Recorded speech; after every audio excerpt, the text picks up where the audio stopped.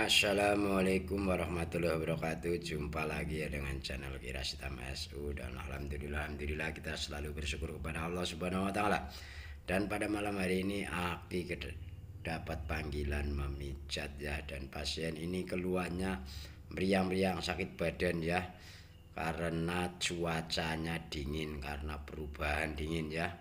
Dan kesehatan adalah suatu aset yang harus kita jaga. Jadi sehat itu adalah mahal harganya. Seperti biasa pemijatan aki dimulai dari kaki. Dipijat-pijat dulu, habis dipijat diurut, habis diurut diterapi pakai buah jinidri. Lanjut.